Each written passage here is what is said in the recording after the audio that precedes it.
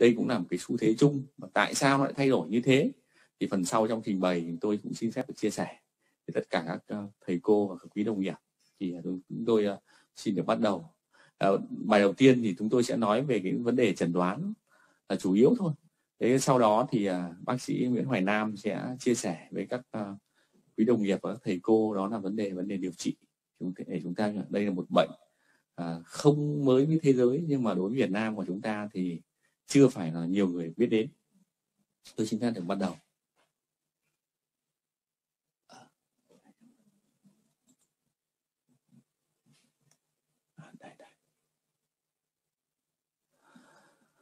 À, về à, dịch tễ học thì à, viêm lết đại tràng chảy máu là một bệnh người ta cho rằng đó là theo chủng tộc. Và người trong các người phương Tây thì người Do Thái là một trong những nhóm người mà bị nhiều nhất.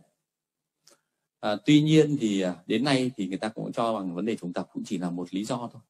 À, bởi vì về sinh cơ chế sinh bệnh học nếu mà trước đây mà chỉ cho rằng chủng tập thì rõ ràng là ở Việt Nam của chúng ta hay những nước à, châu Á nói chung ấy, chắc chắn chúng ta rất hiếm người Do Thái. Thì chúng ta sẽ không có bệnh này. Nhưng sự thật thì à, phần sau tôi sẽ trình bày cái tỷ lệ họ tăng lên rất là nhiều. Viêm lết đại tràng chảy máu thì à, thấy nữ thì cũng xuất hiện nhiều hơn ở nam. Và có hai đỉnh tuổi đỉnh tuổi thứ nhất là vào từ 15 đến 25 tuổi là hay gặp. Rồi đỉnh tuổi thứ hai đó là từ 55 đến 65 tuổi. Thì à, cái nhóm bệnh đỉnh tuổi thứ nhất là hay gặp hơn. Và người ta thấy rằng là ở những người mà không hút thuốc lá thì có vẻ như là cái tỷ lệ mà bị viêm lết đại tràng chảy máu sẽ cao hơn. Thế thì người ta mới nghĩ rằng là phải chăng chúng ta dùng thuốc lá để là một liệu pháp điều trị. Nhưng thực tế thì người ta thấy rằng nếu những cái người viêm lết đại tràng chảy máu ấy mà có nghiện thuốc lá mà chúng ta không bỏ thuốc lá thì sau đấy cái, cái tần suất mà nó tái phát nó sẽ dày hơn và bệnh sau này có thể nặng hơn. Chính vì vậy mà cũng giống như trong các cái bệnh à, uh, IB nói chung ấy, thì người ta đều khuyến cáo đều phải uh, bỏ thuốc lá chứ không thể nào dùng thuốc lá để điều trị. Thì uh, quay lại lịch sử về bệnh thì thực ra bệnh này thì uh, đã có như vậy được khoảng hơn 200 năm nay rồi.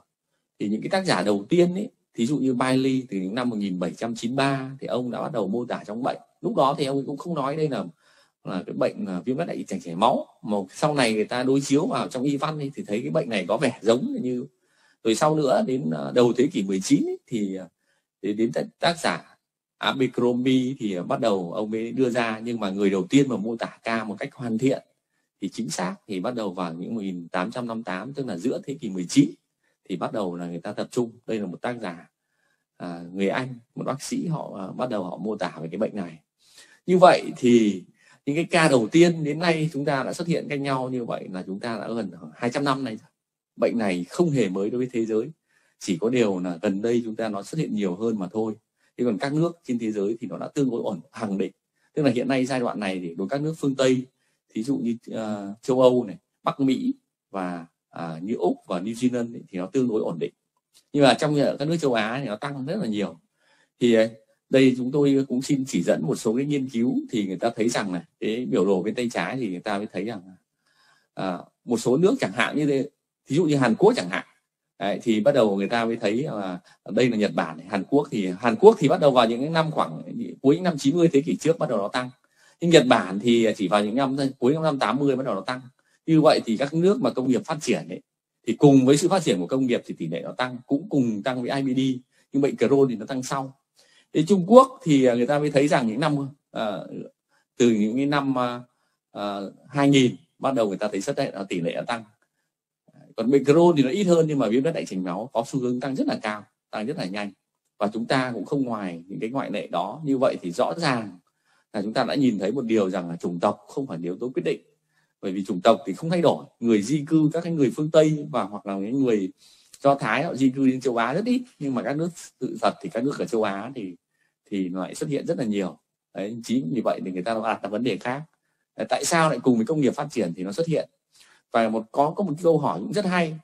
Cùng thời với cái cái, cái cuộc với cái uh, đại cách mạng công nghiệp tức là khi bắt đầu chúng ta nghĩ ra cái đầu máy hơi nước ấy, thì cách đây hơn 200 năm thì cũng đồng thời cái bệnh IBD nói chung và viêm lết đại tràng chảy, chảy máu này nói riêng ấy nó cũng xuất hiện nhiều cũng cùng thời với với Darwin thế thì cái tuyết học thuyết tiến hóa thì nó cũng cùng với, như vậy. Thì rõ ràng như vậy thì cùng với công nghiệp phát triển thì là gì?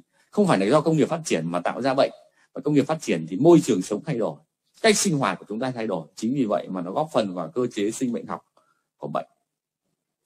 Thế thì viêm loét đại tràng chảy máu ấy, thì là một cái bệnh như thế nào?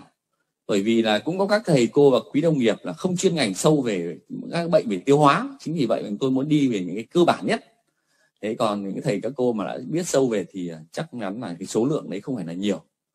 Thế thì à, đối với lại à, đây là một bệnh người ta định nghĩa là tổn thương đại tràng, niêm mạc đại tràng mãn tính. Cái tổn thương này nó nằm chỉ nằm ở lớp niêm mạc thôi. Bình thường thì ở thì thành ruột của chúng ta thì chia thành bốn lớp. Lớp thứ nhất là lớp niêm mạc, lớp thứ hai là dưới niêm mạc, ba là lớp cơ và cuối cùng thanh mạc. Thế thì cái tổn thương trong viêm huyết đại tràng chảy máu này nó chỉ tổn thương ở mỗi đại tràng thôi. Thế và nó lại chỉ tổn thương ở lớp niêm mạc. Nếu mà tổn thương nặng nhất thì nó cũng chỉ xuống đến lớp niêm mạc. Dưới niêm mạc chính vì vậy mà tổn thương viêm viêm đất đại tràng chảy máu này nó không sâu nó không gây ra các cái đường giò dưới các quai ruột cũng như đường giò ra các vùng lân cận. Chính vì vậy đây cũng là đặc điểm khác với trong cái bệnh Crohn có cơ chế sinh học tương tự giống nhau. À, điểm thứ hai đó là tổn thương chỉ ở đại tràng và những trong những trường hợp nặng thì nó có thể tổn thương ngược lên đến đấy, à, vùng cuối hồi tràng. À, như vậy thì rõ ràng đây là một cái bệnh mà đặc trưng à, à tại đại tràng. Thế còn về thuật ngữ chẩn đoán thì chúng tôi mới thấy rằng có một điều về này về mặt tiếng anh ấy thì không có từ viêm loét đại tràng chảy máu mà chỉ có viêm loét đại tràng thôi tức là ulcerative colitis Đấy, tuy nhiên thì các thầy ngày xưa thì tôi có nhớ là các thầy dịch à, lúc đầu thì tôi nghĩ là không không biết là các thầy đấy đâu nhưng mà các thầy dịch tiếng pháp thì nó có từ của chảy máu. Nhưng thực ra đây nó nói đúng cái bản chất của bệnh.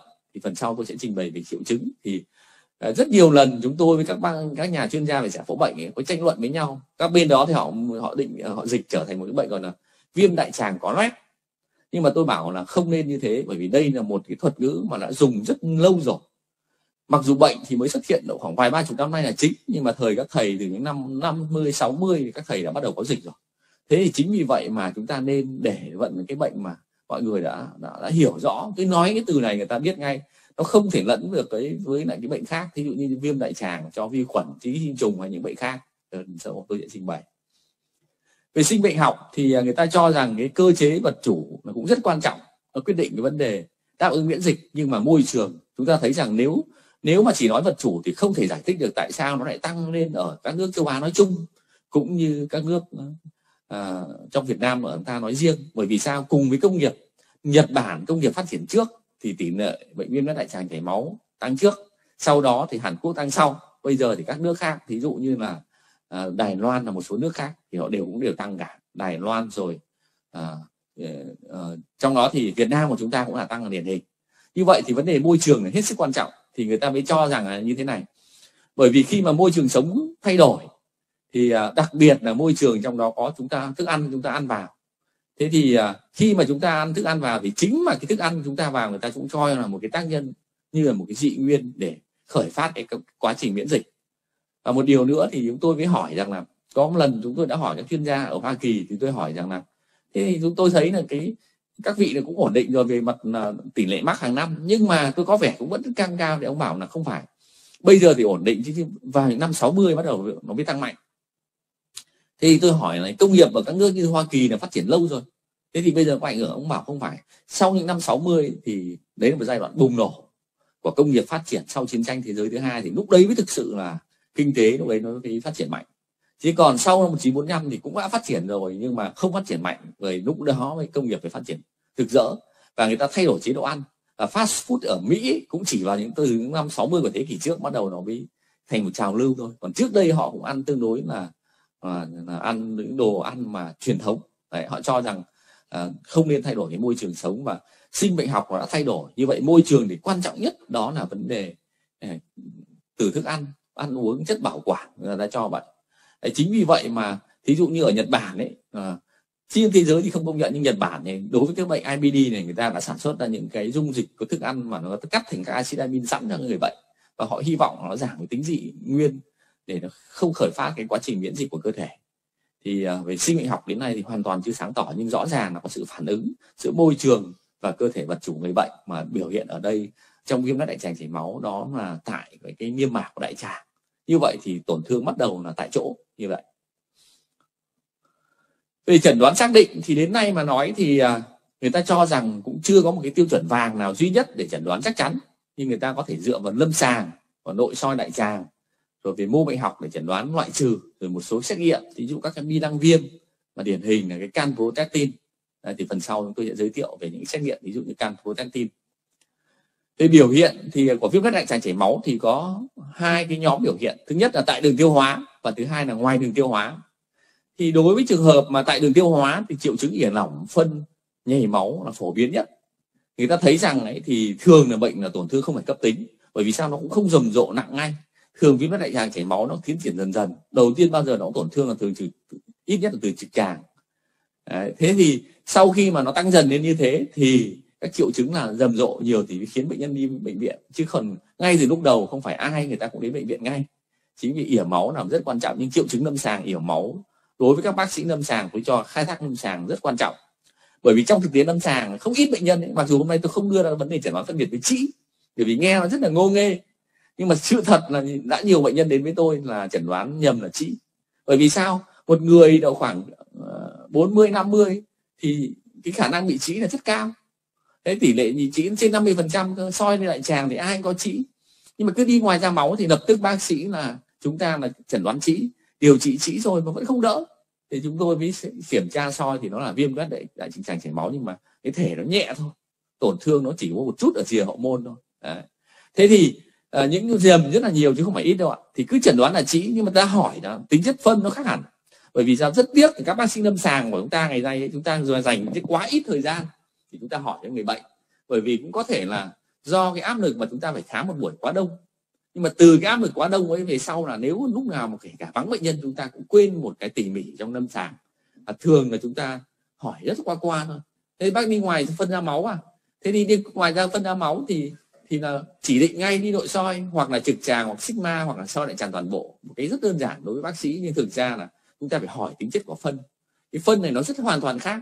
Ví dụ đối với trĩ thì có thể là đi ngoài máu, nó riêng, phân nó riêng, phân cũng vẫn thể thẫn thành khuôn hoặc là đi ngoài nó phun thành tia hoặc nó nhỏ giọt. Nhưng trong viêm đại tràng chảy máu này thì nó lại không phải như thế. Thường phân nó không còn thành khuôn nữa. Mà phân với máu lẫn vào nhau nếu nặng thì nó có thể lẫn trông giống như nước rửa thịt nhưng mà trường hợp nhẹ hơn thì nó chỉ có một chút thôi máu thôi lẫn vào cùng.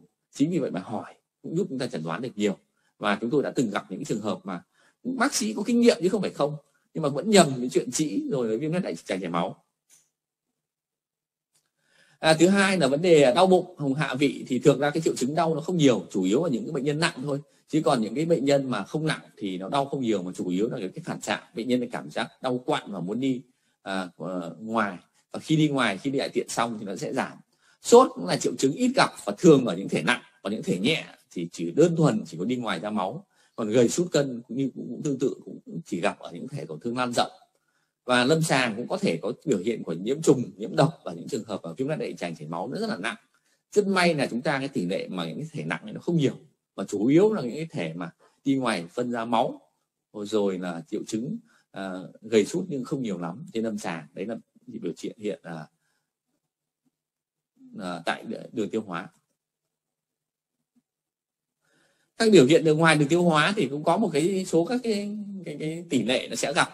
Thí dụ như tổn thương ví dụ như viêm màng bồ đào chẳng hạn.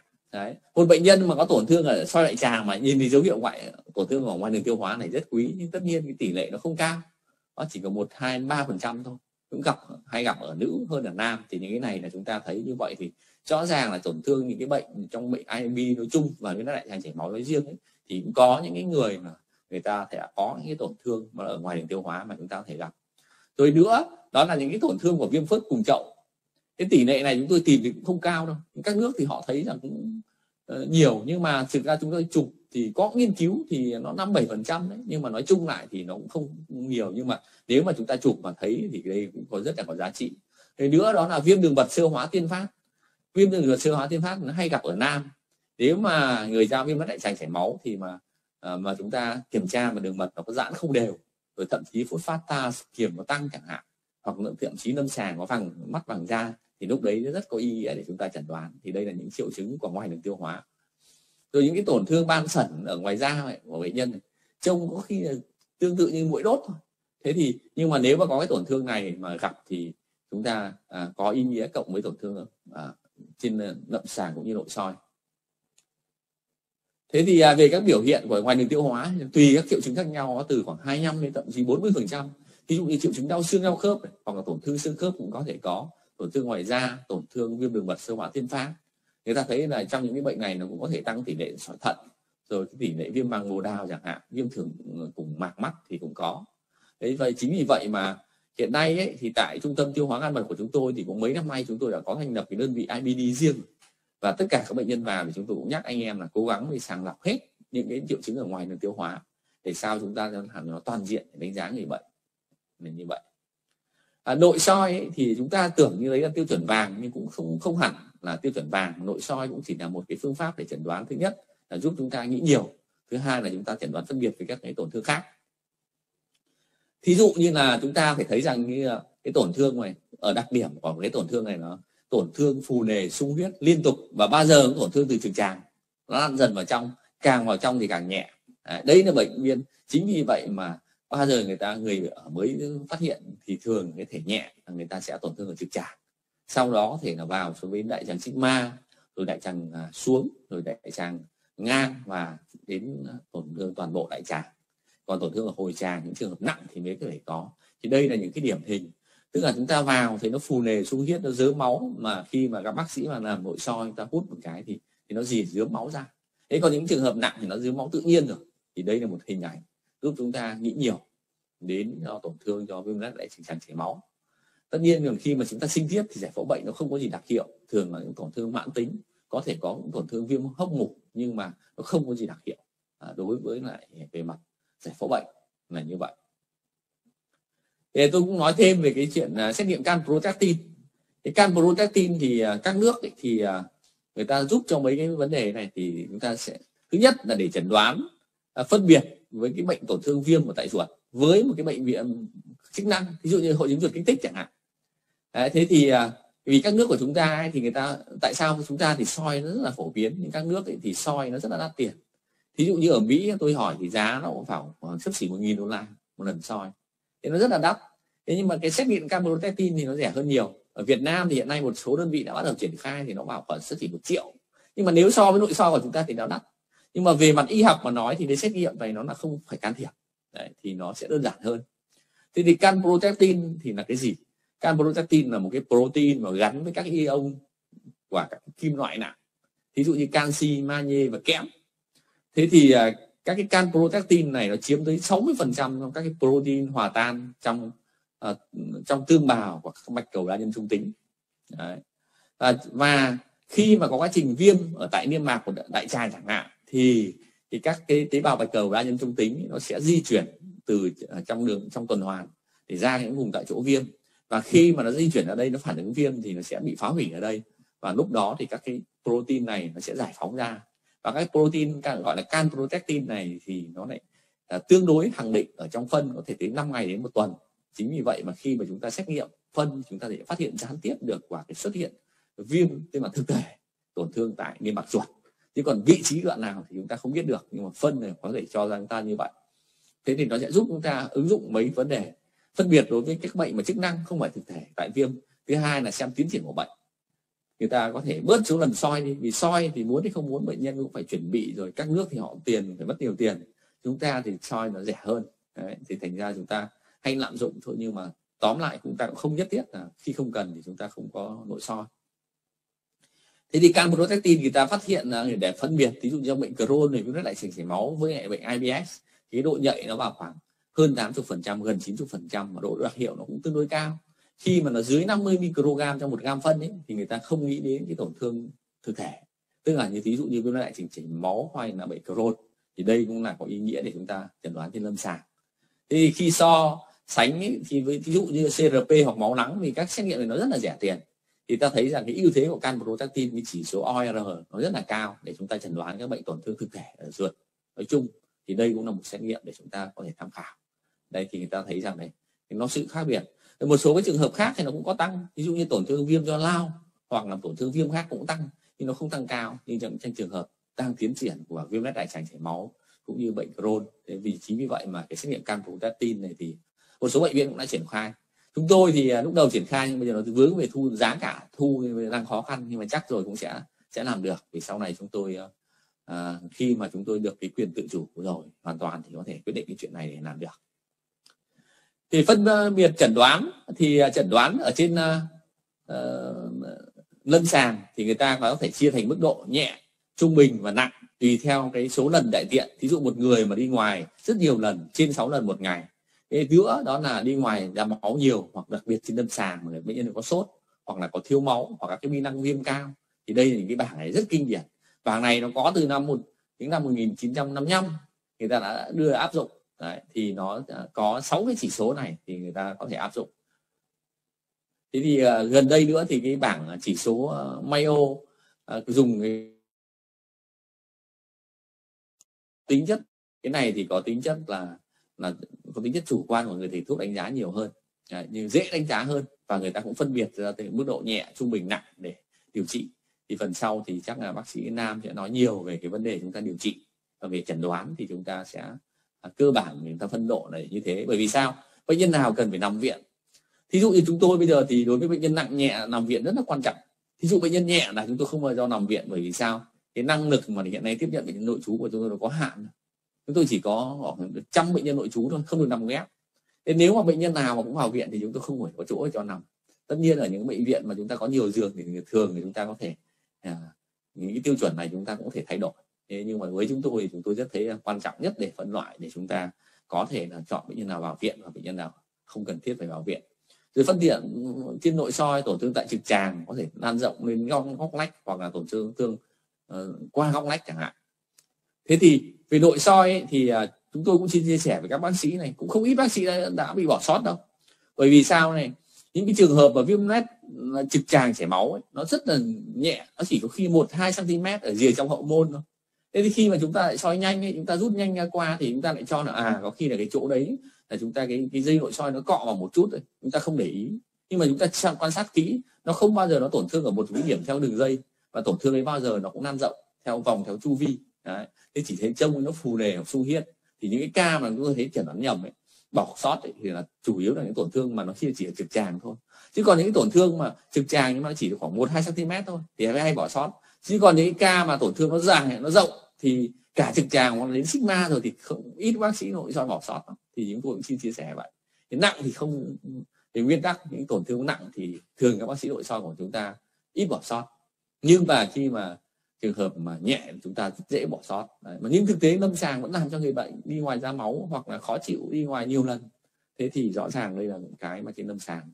Về chẩn đoán phân biệt thì à, có ba cái bệnh mà chúng tôi nhấn mạnh thứ nhất đó là viêm lết đại tràng chảy máu với tổn thương mà do vi khuẩn ở ký sinh trùng. Xứ chúng ta là cái xứ mà nhiệt đới do đó dù có ăn uống sạch sẽ như thế nào nữa thì do do nhiễm trùng và ký sinh trùng chúng ta đặt ra hàng đầu. Đấy. thứ hai là đối với viêm đại tràng thiếu máu và thứ ba là cũng phân biệt giữa viêm đại tràng chảy máu với bệnh Crohn. Thế thì à, à, đối với cái bệnh nhiễm trùng ấy, thì thì ở Việt Nam của chúng ta phổ biến lắm nhưng mà chúng tôi cũng thấy một điều rất may cái này riêng cái bệnh mà chẳng hạn cho ký sinh trùng ấy, thì trước đây chỉ kể khoảng khoảng 10 năm thôi. Thì cái tỷ lệ arsegan amip của chúng tôi rất nhiều. Thì một năm với trung bình của chúng tôi bây giờ là khoảng ba ba bốn chục trăm ca arsegan thế nhưng mà không có nổi đến bốn năm ca là arsegan amip và chủ yếu là arsegan cho vi khuẩn này hoặc là arsegan cho lá gan lớn thôi thế nhưng ngày xưa thì arsegan cho mít nhiều. Như vậy thì rõ ràng này vấn đề vệ sinh và các thứ vấn đề chúng ta giải quyết rất là tốt ví dụ chất thải chẳng hạn, thì chính vì vậy nó ảnh hưởng rất nhiều. Nhưng mà bệnh nhiễm trùng mà tôi cho rằng nó lại không, nó vẫn còn rất là nhiều. Thì đặt ra đối với bệnh nhiễm trùng là rất quan trọng. Thế thì đối với những bệnh nhiễm trùng và ký sinh trùng thì gì? Nó thường là cấp tính. Ví dụ một, ngày nay thì chúng ta nội soi là chúng ta rất dễ tiếp cận, chứ ngày xưa thì chúng ta ít phương tiện. Chứ còn bây giờ có những bệnh nhân là hôm trước hôm, hai, ba hôm mà đi ngoài ra máu, họ đi nội soi ngay. Thế chính vì vậy mà chúng ta mới nhầm lẫn, thì chúng ta thấy rằng là tổn thương nó cũng có phù nề sung huyết. Thế nhưng mà thường cái tổn thương này nó không liên tục nó không giống như những cái tổn thương trong ờ, và bệnh rất cấp tính. Và khi mà lâm sàng ấy, mà chúng ta không thể phân biệt được thì thì nên điều trị thử. Ta điều trị có thể dùng kháng sinh hoặc những thuốc điều trị ký sinh trùng chẳng hạn. Nó điều trị sau một tuần sau đó và các triệu chứng lâm sàng mà hết trên lâm sàng. Thì rõ ràng là hết trên lâm sàng thì chúng ta nghĩ đến do bệnh cấp tính là do bị nhiễm trùng hoặc ký sinh trùng. Thì chúng tôi thì thường thì tôi soi sau độ khoảng 10 ngày hoặc 2 tuần. Những trường hợp này nó cũng hết luôn. Đấy, nó khác hẳn với lại viêm lết đại tràng chảy máu viêm lết đại tràng chảy máu có khi điều trị triệu chứng viêm lâm sàng hết rồi nhưng mà khi anh soi nó vẫn còn tồn tại. Chứ nó không hết ngay như cái bệnh này. Thì đây là những cái bệnh mà chúng ta phải rất là lưu ý trên lâm sàng là như vậy. Thứ hai là phân biệt viêm lết đại tràng chảy máu với lại viêm đại tràng thiếu máu. Ê, trước kia thì chúng ta không để ý bệnh này đâu. Bệnh này ít bệnh này cũng giống như các bệnh túi thừa ấy, chủ yếu ở các ở các nước phương tây thôi. Chứ còn ở việt nam của chúng ta ít chú ý. Nhưng gần đây thì chúng ta bắt đầu xuất hiện nhiều tôi cứ nhớ mãi một cái ca mà cách đây à, à cách đây mấy năm à, vào dịp sát, sát tết âm lịch thì có một bác sĩ nội soi ấy, thì như thế này. Sau khi soi đại tràng à, cho một người bệnh nhân xong thế thì soi đại tràng thì không có gì kiểm tra là kiểm tra định kỳ vì trước đấy có mấy cái polyp nhỏ thôi. Thế thì sau khi anh ấy soi xong hai ngày xong ấy thì buổi trưa thì anh ấy vác cả máy tính nữa anh máy tính sách tay anh tay anh mang đến giữa trưa anh gọi vào phòng tôi. Tôi bảo có cái gì đấy em? Thế thì anh bảo anh sợ lắm. Anh mới cho tôi xem một hình ảnh tổn thương. Thì lúc đầu tôi cũng, cũng chưa rõ là cái gì cả. Ở tổn thương thì nó rất là phù nề sung huyết rất là mạnh. Em thì hỏi thế nào? Anh bảo là cách đây bác cái soi thì cũng là một nhân vật quan trọng. Do đó bác cái soi thì không có chuyện gì cả. Hai ngày hôm sau thì tự nhiên thấy bác ấy xuất hiện là đi ngoài ra máu rất nhiều. Thế này lại trùng với một cái việc nữa như thế này thì à, bác này thì lại, bác ấy đi ngoài thì có những cái hôm bác ấy đi vệ sinh, bác ấy cảm giác nó như kiểu hơi táo gì thì bác ấy thụt nước vào trong. Thế thì bác ấy bảo không biết có phải là do tôi thụt nước nhiễm trùng không? Nhưng mà chỉ biết là khi đi ngoài rất nhiều lần ra máu và ồ ạt, nhưng bác ấy không vào viện. Chính vì vậy nên mà mà anh bác sĩ này anh cũng rất sợ, anh ấy soi lại. Soi lại thì thấy cái tổn thương đại tràng nó nhiều kinh khủng. Thì anh ấy rất là lo lắng vì anh cho rằng là chính bản thân anh ấy soi hôm trước, thì hôm sau, hai hôm sau thì nó bị là do lỗi của anh ấy nhưng anh nghi rất sợ. Thì tôi bảo là, cái này cũng không có gì sợ cả, vì bác đấy bác cũng đã 61 hay 62 tuổi rồi. Thế thì bác lại cao huyết áp này, mỡ máu thì không cao, nhưng mà tổn thương rất rầm rộ. Thì tôi mới đến thì tôi giải thích cho anh ấy là nó có mấy cái khả năng. Thì trong đó có một cái, cũng có thể là cái nhiễm khuẩn, nhưng mà vì là bác ấy có xịt nước lên thì tôi cho rằng cũng có thể có nhiễm khuẩn, nhưng cái khả năng là ít hơn. Mà tôi nghĩ mà, khi tôi tôi hỏi thì tôi bảo người cũng tương đối đầy đặn. Thế thì tôi bảo là phải loại trừ một cái nguyên nhân khác đó là cái viêm uh, viêm đại tràng thiếu máu. Thì tôi mới đến khám nhưng lâm sàng lâm sàng tôi hỏi thì bác nói là rất là cấp tính và và đã từng là bác ấy này là bác đã đặt stent mạch vành rồi. Thế thì lâm sàng tôi mới nghĩ nhiều đến cái, cái khả năng là viêm đại tràng thiếu máu. Thế và chúng tôi điều trị thì cũng cho nhịn ăn và sau đó thì à, điều dùng sử dụng kháng sinh đến mức tối đa. Đấy, và điều trị thì hai ngày hôm sau thì gần, các triệu chứng gần như không còn nữa. Và hết hết triệu chứng. Thế thì à, vì là chúng tôi bảo là bệnh cấp tính cũng không dám soi lại ngay lúc đấy. Và tôi cũng theo quy định là thôi, cứ để hết đợt cấp đi. Và 6 tháng tuần sau chúng tôi kiểm tra lại. 6 tuần sau thì hoàn toàn bình thường. Thế thì à, lúc đấy tôi cũng giải thích với gia đình là vì bác ấy là tiêu chuẩn của bác ấy là diện là ừ, ban bí thư quản lý. Và bây giờ bác ấy không dứt khoát không vào viện. Thì tôi bảo rất là nguy hiểm. Thế thì Ờ, đành phải nói với các anh ờ, bác sĩ ban bảo vệ sức khỏe thôi bây giờ này các anh cứ điều trị tối đa. Hễ mà diễn biến theo dõi trên lâm sàng ấy mà không may ấy nó nó hoại tử ra mà nó nó có bệnh ngoại khoa thì chúng ta phải chuyển đến bệnh viện. Đấy, thì chúng tôi mới thấy rằng đến một cái ca lâm sàng ấy thì vì sau này tôi thấy là nó hết rất là nhanh và các triệu chứng trên lâm sàng nó hết thì chủ yếu cái nào hay gặp nước để nó là cái viêm đại tràng nó thiếu máu tức là gì? Nó có thể tắc mạch chúng tôi cũng chụp cả MSCT tất cả từ không tư tắc mạch nhưng mà lớn nhưng mà các nước người ta nói rằng là những trường hợp này thì thường là tắc mạch nhỏ. Và khi chúng ta chụp các mạch máu thì chúng ta sẽ không thấy. Và nó có một cái điều điển hình đó là gì? Cái tổn thương nó có thể vị ở hai vị trí là góc lách và sigma thì nó không giống như viêm nước đại chảy chảy máu. Nó là tổn thương từ trực tràng này vào. Thì cái ca mà tôi gặp trên lâm sàng ấy thì nó chỉ có một đoạn nó từ sigma lên thôi chứ ở dưới nó cũng không có. Thế. Thế thì, thì đây cũng là một cái lưu ý trên lâm sàng bệnh thường cấp tính ở những người mà có yếu tố nguy cơ ví dụ như lớn tuổi có tăng huyết áp có tăng mỡ máu đặc biệt có có thể người hút thuốc lá chẳng hạn. Thì những người này là những người mà nếu mới có biểu hiện lâm sàng thì chúng ta cũng chú ý. Và khi nội soi ấy, thì chúng ta phải phân biệt với là tổn không có tổn thương trực tràng đấy. Chính vì vậy. Nhưng mà này vì kinh nghiệm lâm sàng ấy thì rõ ràng là không chỉ nói riêng về những cái bệnh này đâu. Những bệnh nhân nào nếu mà triệu chứng lâm sàng mà đi ngoài ra máu cấp tính mà giống như kiểu nước rửa thịt thì chúng ta chưa có vội từ từ hãy soi bởi vì có rất nhiều bệnh có thể có. Ví dụ như viêm túi thừa cấp tính mà chúng ta soi nó có thể khả năng thủng. Nên không nhất thiết phải nhất định soi nhất định phải soi. Chính vì vậy mà chúng ta tùy những trường hợp lâm sàng và chúng ta có những quyết định đi bước nào trước. Bước có thể bệnh nhân này là nội soi nhưng có bệnh nhân khác chúng ta lại không phải tìm mà nội soi. Mà chúng ta lại chụp à, chụp à, mà CT ổ bụng chẳng hạn. Chúng ta tìm một túi thừa để suy nghĩ lâm sàng. Sau đó chúng ta điều trị giống như cái viêm túi thừa sau một thời gian nó qua đi thì chúng ta bắt đầu với nội soi thì đấy là một cái thực tế lâm sàng là như vậy. À, phân biệt thì ờ, còn một bệnh cuối cùng nó là phân biệt giữa viêm lết đại tràng chảy máu với bệnh uh, Crohn. Thì bệnh Crohn ấy thì thực ra cũng là một bệnh uh, viêm ruột tự miễn cũng giống như viêm lết đại tràng chảy máu nhưng mà bệnh Crohn thì nó khác một chút như thế này. Bệnh Crohn là một bệnh có thể tổn thương bất cứ đoạn nào của đường tiêu hóa. Có thể tổn thương từ những cái nét after nhỏ ở miệng ở thực quản ở dạ dày tuy nhiên cái tỷ lệ nó thấp rồi cũng có thể là tổn thương ở các ruột non ở gặp đặc biệt hay gặp ở người trẻ và đại tràng. Hồi manh tràng cũng là những vị trí hay gặp. Đấy. và thứ nữa đó là tổn thương thường là tổn thương rất sâu. Tổn thương nó có thể xuyên thành của ruột chính vì vậy mà có thể tạo tạo thành các cái đường giò từ các cái quai ruột hoặc là giò từ trực tràng ra xung quanh vùng hậu môn. Đấy, và tổn thương trên giải phẫu bệnh. Nếu điển hình thì là tổn thương hạt mà không bã đậu hóa tức có gì? Có tế bào khổng lồ có tế bào bán liên và các tế bào viên mãn tính. Nhưng nó lại không có hoại tử bã động thì nó khác với cái lao là như vậy. Thế thì còn đối với viêm loét đại tràng chảy máu của chúng ta thì à, tổn thương là tổn thương loét nông và liên tục từ trực tràng vào trong trong thì nhẹ và dần ở ngoài thì nặng. Nhưng mà ở Crohn ấy thì có khi nó lại tổn thương ờ, ở sigma một đoạn xong lại tổn thương ở đại tràng ngang một đoạn khi lại đại ở tràng lên một đoạn tức là cách quãng giữa các cái quãng tổn thương này nó có thể có những cái vùng tổn niêm mạc hoàn toàn bình thường. Thì đấy là những điểm khác biệt ở bên nội soi cũng như vị trí tổn thương hay gặp cũng như những cái biểu hiện à, về lâm sàng. Biểu hiện lâm sàng bệnh Crohn thì đi ngoài ra máu thì lại không như hay gặp giống như viêm đại tràng chảy máu. Và tổn thương có những người ví dụ đau bụng hoặc rối loạn phân nhưng cái tính chất đi ra máu lại không điển hình như trong viêm đại tràng chảy máu. Thì đây là những cái hình ảnh mà tổn thương ví dụ như cái nét rất là nông rồi những cái tổn thương mà rất dọc rất dọc và cái phần niêm mạc còn lại thì đây là cái nó tạo thành cái, cái rãnh dọc theo cái khung đại tràng mình có thể thấy. Thì trong cái đây là ở trong bệnh Crohn. Rồi nó tạo thành hình ảnh đá quậy tức là gì? Những cái tổn thương nó dọc nó rất là nhiều theo dọc theo cái khung đại tràng. Thì cái phần niêm mạc còn lại thì lúc đó nó tạo thành cái ờ, tạo những cái đảo và gọi là giả là thành đá quậy. Rồi nữa là những cái tổn thương mà do quanh hậu môn thì khi có dò quanh hậu môn này thì không thể nào viêm lết đại tràng chảy máu được vì nó là tổn thương sâu tổn thương xuyên thành thì nó mới lan ra như vậy.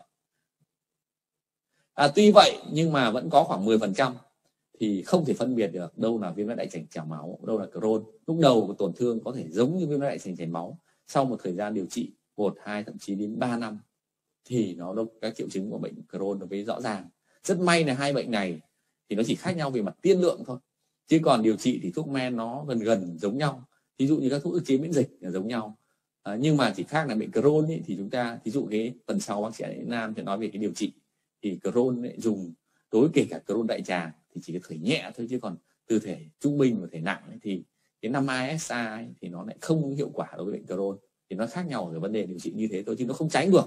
Ví dụ một bệnh là chống chỉ định một bệnh chỉ định thì nó khác. Thì rất may là lại có một cái điểm tương đồng như vậy và cuối cùng thì chúng tôi vẫn luôn nhắc lại là chẩn đoán thì dựa vào lâm sàng, triệu chứng ỉa máu là rất quan trọng, tính chất nặng thì phân nhầy máu hoặc như nước rửa thịt. Còn tiếp theo thì có những nếu mà nhẹ hơn thì phân nó không thành quân mà có lẫn máu, chứ không phải là phân thành quân sau đó có dây máu, thì cái đó là ta hỏi trên lâm sàng. Nội soi thì tổn thương liên tục, bao giờ cũng nặng trực tràng, nhẹ ở phía trong, thì đấy là tổn thương rất điển hình của viêm loét đại tràng chảy máu. Và rất bao giờ cũng phải nhớ là chẩn đoán phân biệt với các bệnh cấp tính.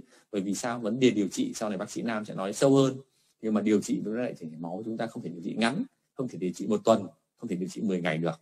Chính vì vậy mà những bệnh cấp tính do vi khuẩn hoặc ký sinh trùng, chúng ta chỉ cần điều trị khoảng 5 đến 7 ngày thì các hình thái lâm sàng cũng như những biểu hiện trên nội soi nó sẽ giảm rất nhanh. Chính vì vậy mà chúng ta về mặt chẩn đoán, chúng ta đấy là những điểm cần. Và rất là xin cảm ơn các quý thầy cô và quý đồng nghiệp đã theo dõi cái phần mà chúng tôi nhấn mạnh về vấn đề chẩn đoán xác định cũng như chẩn đoán phân biệt và chẩn đoán mức độ viêm lết đại trực tràng chảy máu. Và xin à, hết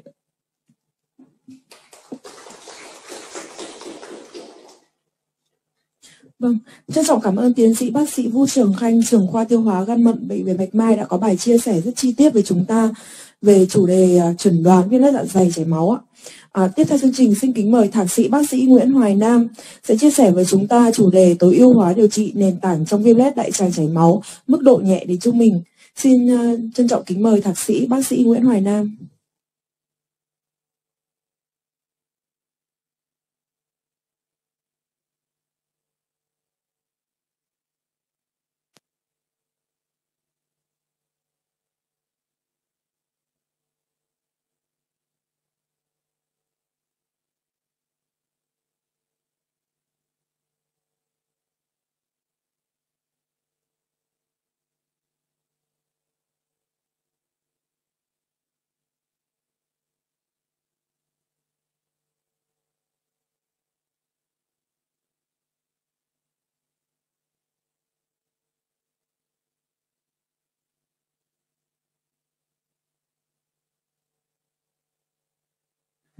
Dạ. Kính thưa anh thanh, kính thưa các thầy cô anh chị.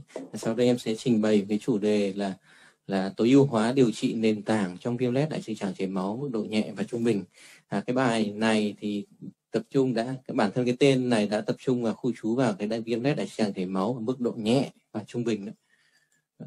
Hiện tại thì à, Mỹ mới ra được hai cái hướng dẫn điều trị mới nhất về viêm lết đại tràng chảy máu trong đó năm 2019 thì ra được cái hướng dẫn điều trị về thể nhẹ và trung bình và đến năm 2020 thì ra được hướng dẫn điều trị về về thể trung bình và nặng.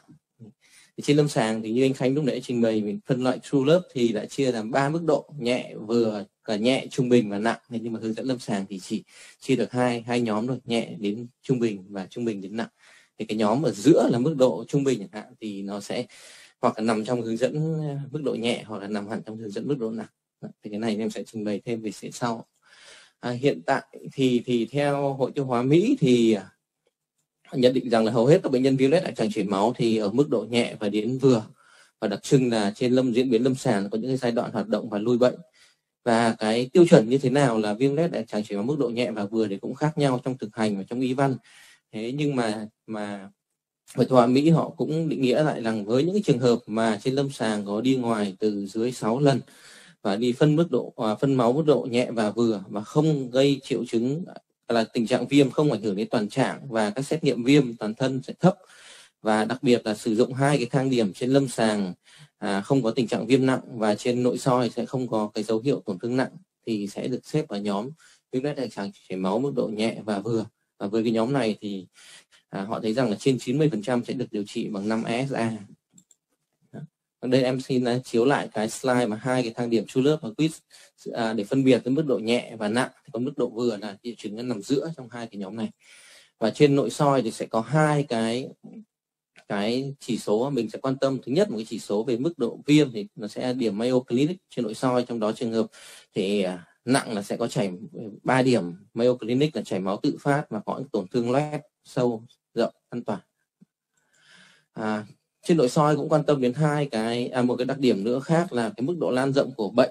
Và theo phân loại Montreal thì chia làm ba nhóm một cái nhóm tổn thương khu trú ở trực tràng có thể lên đến đại, đại tràng sigma. Thì nhóm thứ hai là tổn thương lan đến đại tràng góc lách được gọi là tổn thương lan đến đại tràng trái. Và nhóm thứ ba là qua góc lách có thể đến manh tràng hoặc là tổn thương toàn bộ.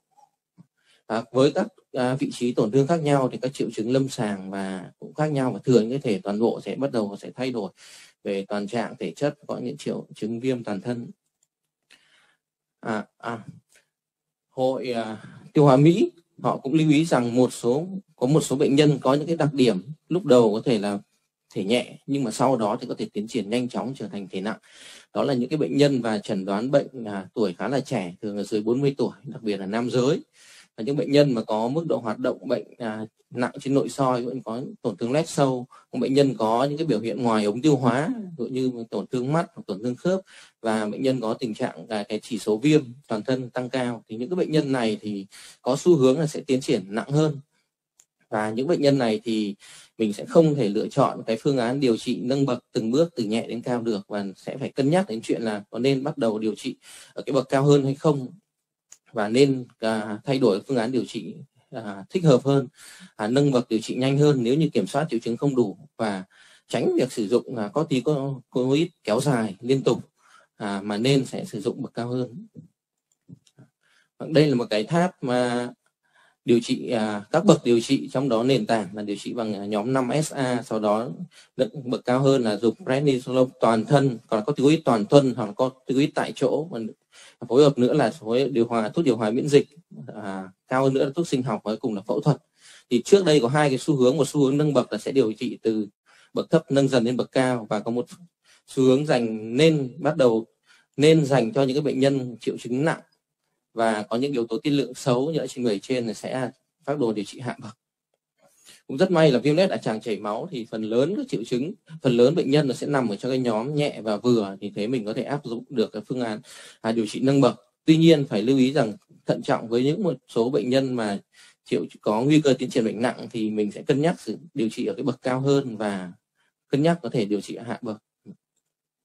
Ở đây là cái à, các bậc điều trị ví dụ với trường hợp nhẹ chẳng hạn thì điều trị 5SA hoặc là corticoid tại chỗ trung bình thì sẽ sự phối hợp corticoid toàn thân để trong điều trị tấn công và sau khi đạt được tình trạng lui bệnh thì sẽ duy trì bằng à, nhóm ức chế miễn dịch hoặc là 5 ASA và trường hợp bệnh nặng chẳng hạn thì sẽ điều trị bậc cao hơn bằng các thuốc à, sinh học hoặc là phẫu thuật.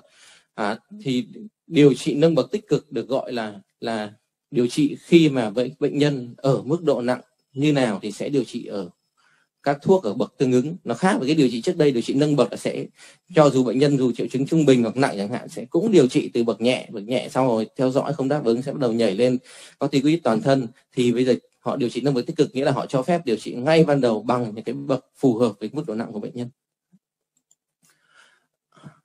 Chúng ta quay lại cái bậc đối với cái bệnh nhân nhẹ và trung bình chẳng hạn, thì cái điều trị đầu tiên có thể là 5 ASA đơn thuần hoặc là corticoid corticoid toàn thân. Tuy nhiên các anh chị biết rằng corticoid toàn thân có rất nhiều tác dụng phụ và rất nhiều bệnh nhân họ sẽ sợ các tác dụng phụ này và bản thân bác sĩ họ cũng hết là sức tránh để sử dụng corticoid toàn thân. Chính vì thế làm thế nào để mình tối ưu hóa được cái điều trị bằng cái bậc thấp nhất là 5 SA đơn thuần? Thì đây chính là cái mục tiêu của cái bài trình bày của ngày hôm nay. À, thuốc nào 5 ASA đầu tiên cái thuốc đầu tiên được sử dụng là chính là sulfa salazin cái thuốc này thì bản chất là 5 ASA và gắn với sulfa salazin bởi một cái cầu nối. À, Azo và nhờ cái vi khuẩn ở đại tràng thì thuốc khi nào qua đường tiêu hóa qua ruột non xuống đến đại tràng thì cái vi khuẩn ở đại tràng sẽ phân tách cái nhóm à, sulfa à, sarin ra thành sulfa pyridine và 5 ASA và giải phóng 5 ASA thì 5 ASA là cái chất mà có tác dụng chống viêm điều trị bệnh một cái loại thuốc thứ à, tiếp theo bởi vì cái thuốc nhóm à, thuốc sulfasalazine thì có rất nhiều tác dụng phụ do cái gốc sulfapyridine này gây ra nên các thế hệ thuốc sau sẽ sử dụng đơn thuần mesalamine. Trong đó có rất nhiều dạng bào chế vụ viên giải phóng chậm là nhiều pH pH giải phóng pH 6 hoặc pH 7 có một dạng bào chế thứ hai dạng viên cố hoặc chứa vi hạt phóng tích kéo dài theo thời gian. Và một viên dạng à, điều trị à, matrix MMX thì cái này cũng giải phóng theo thời gian một cái nhóm thuốc thứ ba cũng sử dụng mesalamine và có, có gắn cầu nối diazo có là bansalazin và osalazin thì các thuốc này đều là tiền thuốc và cũng giống như sulfalazin thì nhờ vi khuẩn cái đại tràng sẽ giải phóng ra năm SA hoạt động. Bộ đây là sulfalazin sẽ tách ra nhóm mesalamine là có tác dụng điều trị và sulfapirin gây tác dụng phụ. Còn bansalazin thì có do nhóm 5SA gắn với một chất khác. Còn oxalazin thì hai gốc 5SA gắn với nhau bằng cầu nối azo thế còn đấy là cái nhóm thuốc mà như, như em vừa trình bày lúc trên thì thuốc uống khi đến đại tràng thì bắt đầu nhờ vi khuẩn. Ở trong đại tràng thì mới tách ra được nhóm nám A để có tác dụng. Trong cái nhóm thuốc thứ hai là cái nhóm 5 mesalamin được giải phóng nhờ pH thì ví dụ giống như Asaco, nó Apriso chẳng hạn thì một thuốc thì giải phóng ở pH trên 7, một thuốc giải phóng ở pH trên 6. pH trên 6 là đoạn cuối hồi tràng gần gần đại tràng thì lúc đấy pH trên 6 và thuốc cái màng bao của viên thuốc nó sẽ giã ra và giải giải phóng ra thuốc còn với pH trên 7 thì hầu như thuốc phải xuống đến đại tràng rồi thì mới giải phóng ra mesalamin. thế còn à, à, cái thuốc pentasa thì tác dụng là mesalamine và cấu trúc dạng vi hạt thì nó sẽ sau khi uống thuốc và bắt đầu đến đoạn ruột non thì bắt đầu thuốc sẽ được giải phóng ra thành dạng mesalamine và có tác dụng từ đoạn ruột non và đại tràng. Pentasa là dạng viên cốm hoặc là dạng viên chứa vi hạt và phóng thích kéo dài. À, có rất nhiều các đường dùng thuốc khác nhau. Đường uống có thể gồm có 5ASA, corticoid uh, budesonide tại chỗ dạng MMX giải phóng ở đại tràng. Ngoài ra có các đường dùng thuốc khác như đường à, thụt hậu môn à, đường dạng bọt và đường viên đạn hạt hậu môn. Viên đạn hạt hậu môn thì hiệu quả của thuốc chỉ đến khoảng độ 15 cm sau à, ống hậu môn. Dạng bọt xịt thì có thể đến qua đại tràng sigma và thụt thì có thể tới đại tràng góc lách. Và nếu như tổn thương nằm ở à, qua đại tràng góc lách chẳng hạn thì hầu như là phải phối hợp thuốc uống về làm thế nào để tối ưu hóa cái điều trị thì đối với cái liều đường uống thì tất cả nghiên cứu gần đây cho thấy rằng là để đạt được sự lui bệnh nghĩa là dùng liều tấn công chẳng hạn thì liều cao sẽ đạt được hiệu quả lui bệnh cao hơn. Các nghiên cứu họ xếp rằng à, bởi vì có rất nhiều dạng chế phẩm mesalamin khác nhau à, với cái à, đường liều dùng khác nhau thành ra tất cả nghiên cứu họ đều coi liều cao khi mà sử dụng mesalamin trên 3 gram liều cơ bản là từ 2 đến 3 gram và liều thấp là dưới 2 gram một ngày thì các nghiên cứu với những thử nghiệm Ascend 1, Ascend 2 hoặc các nghiên cứu ở Nhật Bản để cho thấy là sử dụng liều cao thì đạt được cái tỷ lệ à, lui bệnh à, lớn hơn, có hiệu quả, có ý nghĩa hơn so với liều cơ bản. Mặc dù là một cái phân tích gộp cho thấy rằng là cái RR của cái ờ, sử dụng liều cao so với liều cơ bản thì cái chỉ, chỉ số RR bằng 0,95 ở năm nó vẫn nằm giá trị một ở trong khoảng RR. Tuy nhiên xu hướng cho thấy rằng là là liều cao sẽ có hiệu quả hơn liều cơ bản. Vì thế chính hội tiêu hóa Mỹ cũng khuyên cáo rằng nên sử dụng liều cao cho các trường hợp để đạt được cái đạt được cái à, sự lui bệnh. Và họ phân tích cho thấy rằng liều cao hoặc là liều cơ bản thì đều có hiệu quả hơn so với sử dụng liều thấp để đạt được cái lưu bệnh một cái vấn đề là liều cao và liều, khi sử dụng liều cao so với liều cơ bản nghĩa là gần như là liều gấp đôi so với liều mà mình thường dùng hàng ngày chẳng hạn, thì chi phí nó sẽ tăng lên gấp đôi. Tuy nhiên cái hiệu quả nó sẽ đạt được không thì một cái nghiên cứu tất cả Bukhan họ thấy rằng là nếu như mà sử dụng à, liều cao ngay từ đầu và để đạt được cái sự nuôi bệnh so với việc sử dụng liều thấp mà sau đó sẽ có một tỷ lệ không nuôi bệnh sẽ phải đổi nâng bậc lên các điều trị khác có thể phẫu thuật thì cái hiệu quả của việc điều trị bằng à, mesalamin liều cao chẳng hạn thì tổng chi phí thì cũng gần như là còn à, rẻ hơn so với sử dụng liều thấp nếu mà tính tổng các chi phí khác mang lại ngoài cái chi phí sử thuốc. Một cái vấn đề nữa cùng quan tâm là với, với sử dụng liều cao thì có gây cái tác dụng phụ gì không so với cái liều cơ bản? Vì liều mình dùng sẽ là liều gấp đôi so với liều cơ bản. Thì các phân tích hệ thống cho thấy rằng là sử dụng liều à, cao của à, mesalamin thì không có mối liên quan với giữa liều cao với các tác dụng phụ không mong muốn nghĩa là sốt sử dụng liều cao tương đối an toàn. Đối với cái sự lui à, sau khi đạt được lui bệnh rồi và duy trì sự lui bệnh thì à, các phân tích cho thấy rằng là liều cao đạt được duy trì sự lui bệnh hạn chế được sự tái phát bệnh lớn hơn so với dùng liều thấp. À, tuy nhiên à, đã, xin lỗi đấy là liều cơ bản sẽ có hiệu quả hơn so với liều thấp. Tuy nhiên với liều cao nếu mà dùng hẳn liều cao chẳng hạn thì lúc đấy lại không mang lại sự à, lợi ích gì cả. Là liều cao sẽ có hiệu quả như liều cơ bản. Vì thế trong trường hợp duy trì sự lui bệnh thì nên sử dụng liều cơ bản để đạt được cái hiệu quả tối ưu.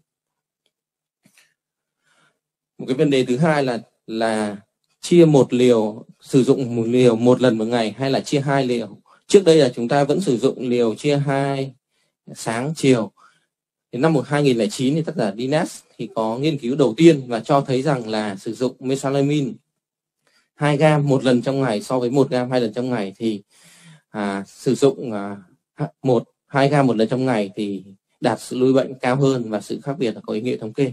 Tuy nhiên sau đó có rất nhiều các à, thử nghiệm khác như thử nghiệm Motus hoặc là phân tích gộp của Fegan và Sabon để cho thấy rằng là giữa liều một lần so với chia hai liều thì không có sự khác biệt. Tất nhiên liều một lần sẽ không có sự vượt trội và à, không có sự khác biệt. Tuy nhiên cái sự hài lòng của bệnh nhân mang lại thì sử dụng liều một lần trong ngày sẽ đạt cái tỷ lệ hài lòng cao hơn. Và cái quan trọng nhất là khi mà bệnh nhân đạt sự hài lòng và sử dụng một lần trong ngày thì họ sẽ thuận tiện hơn cho cái việc sử dụng thuốc và tránh cho họ quên. À, một cái à, cách thứ ba để làm sao tối ưu hóa được cái việc à, điều trị 5SA là sự phối hợp giữa 5SA đường uống và tại chỗ. Thì à, cách thức này sẽ áp dụng khuyến cáo áp dụng cho các trường hợp mà nặng bắt đầu tổn thương từ viêm đại tràng chảy máu từ đại tràng trái và toàn bộ thì các phân tích gộp cho thấy rằng hiệu quả hơn tốt hơn trong việc đạt sự lui bệnh. Và bản thân các nghiên cứu hai nghiên cứu ở Italia và nghiên cứu ở Nhật Bản cũng cho thấy rằng hiệu quả tốt hơn trong việc duy trì sự lui bệnh. Hai nghiên cứu này thì họ sau khi họ đạt được sự lui bệnh rồi thì họ sẽ bắt đầu sử dụng à, uh, mesalamin đường uống với liều duy trì và trong đó họ phối hợp với đường thụt. Như tác giả của Yokoyama thì họ sẽ sử dụng thụt à, một tuần hai lần vào thứ bảy và chủ nhật để thuận tiện cho bệnh nhân à, trong ngày nghỉ và họ thấy rằng cái tỷ lệ tái phát à, virus chảy, chảy máu lại sau khi đạt được lui bệnh ở cái nhóm à, phối hợp giữa dùng thuốc và đường uống và tại chỗ thấp hơn nhiều so với à, đường uống đơn thuần 18,2% và 76,9%. Mặc dù nghiên cứu này có 24 bệnh nhân thôi nhưng mà bởi vì cái tỷ lệ quá khác biệt nên họ đã phải kết thúc sớm cái nghiên cứu này, không lấy tiếp thêm bệnh nhân.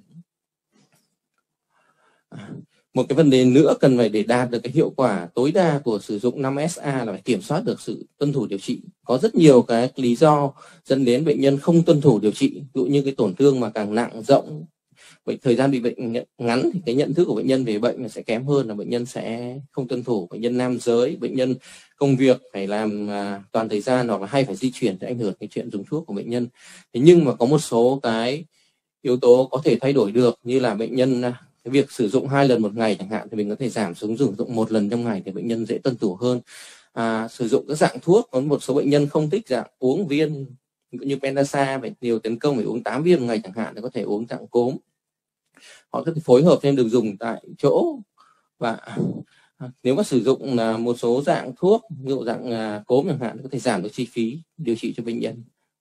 Và tư vấn cho bệnh nhân tránh cái, cái nỗi lo sợ về các tác dụng phụ của thuốc và giúp cho bệnh nhân được tuân thủ cái điều trị tốt hơn. Vậy để tối ưu hóa điều trị cái nhóm à, điều trị cơ bản là nhóm 5 SA thì chúng ta cần phải kiểm tra lại xem cái đường dùng phù hợp có đủ chưa. Được mình có thể sử dụng à, một trong các loại chế phẩm như đường đạt hậu môn thuộc là đường uống. À, liều sử dụng cho bệnh nhân đã tối ưu chưa? Có phối hợp với à, các dạng đặt khác nhau. Và nếu như tối ưu hóa 5 SA e không được rồi chúng ta sẽ bắt đầu tính đến cái chuyện là có phối hợp thêm corticoid tại chỗ hoặc là nâng bậc với điều trị corticoid toàn thân ức chế miễn dịch hay không. Và và tóm lại hướng dẫn điều trị à, của Mỹ năm 2019 thì chia ra làm ba nhóm. Trong đó dựa dựa theo cái, mức độ lan rộng của tổn thương với những tổn thương trực tràng thì khuyên khán đầu tiên sẽ sử dụng mesalamin đặt hậu môn nằm ở bậc đầu tiên. Và nếu như không, bệnh nhân không chấp thuận cái chuyện đặt chẳng hạn thì mới sử dụng đường uống. Và nếu như mà bệnh nhân sau khi mình điều trị và không đạt được cái đáp ứng hoàn toàn thì bắt đầu sẽ thêm một, nếu bệnh nhân đang sử dụng đường đặt hậu môn thì mình sẽ thêm đường uống. Hoặc nếu như đang sử dụng đường uống thì sẽ đặt thêm đường đặt hậu môn còn với tổn thương từ đến lan đến đại tràng sigma chẳng hạn thì khuyến cáo đầu tiên là nên sử dụng mesalamine dạng thụt và chỉ trừ khi bệnh nhân không đồng ý thụt thì mình sẽ sử dụng dạng uống và cũng sẽ phối hợp thêm từ một đến hai loại phối hợp thêm cái cái đường còn lại nếu như mà đáp ứng không hoàn toàn.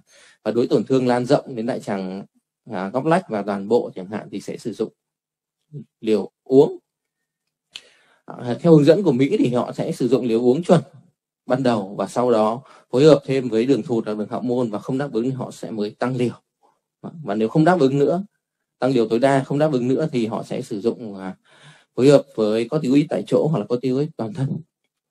À, tuy nhiên cái khuyến cáo này thì họ sẽ không không cho thấy rằng là họ vẫn điều trị từng bước một với liều mesalamine điều chuẩn. Thì năm 2020 tác giả Sotano ở châu Âu thì cũng có đề xuất một cái hướng dẫn điều trị dựa vào đánh giá mức độ nặng của bệnh chia làm hai nhóm nhẹ và vừa. Và cái tổn thương nhẹ là tổn thương E1 là tổn thương theo phân loại Montreal là đến trực tràng chẳng hạn thì sẽ dùng tại chỗ. E2 E3 là tổn thương đến uh, đại tràng góc lách à, sinh ba góc lách và đại tràng toàn bộ thì sẽ phối hợp giữa tại chỗ và và và đường uống. Tuy nhiên cái hay của cái hướng dẫn điều trị này là dành cho cho các nhóm tổn thương à, mức độ trên lâm sàng mức độ vừa họ sẽ đánh đánh giá ngay cái yếu tố nguy cơ. Nếu như bệnh nhân có nguy cơ tiến triển bệnh nặng như là tuổi trẻ à, tổn thương viêm rộng thường xuyên phải sử dụng corticoid là mức độ viêm nặng hoặc là có những triệu chứng ngoài tiêu hóa là cái nhóm mà đối tượng có xu hướng tiến triển nặng nhanh chóng thì họ sẽ sử dụng liều cao có 5 FA hoặc là sẽ cân nhắc điều trị nâng bậc sớm. Còn đối với nguy cơ thấp chẳng hạn là mức độ vừa chẳng hạn thì sẽ họ sử dụng ngay liều cao 5 sa đường uống phối hợp thuốc. Và nếu như đạt được sự lui bệnh thì sẽ điều trị duy trì. Và điều trị duy trì cũng dựa trên hai nhóm nếu mà cái trường hợp nhẹ và nguy cơ tái phát thấp thì họ có thể sử dụng liều thấp nhưng mà nếu nguy cơ tái phát cao hoặc là bản thân bệnh mức độ nặng mức mức độ trầm trọng của bệnh mức độ vừa chẳng hạn mà không có nguy cơ tiến triển cao chẳng hạn thì họ đạt tôi bệnh họ vẫn sẽ sử dụng liều chuẩn là liều 2 gam phối hợp với điều trị tại chỗ Dạ, phần trình bày của em đến đây là hết. Xin trân trọng à, cảm ơn sự chú ý lắng nghe của các anh chị và thầy cô.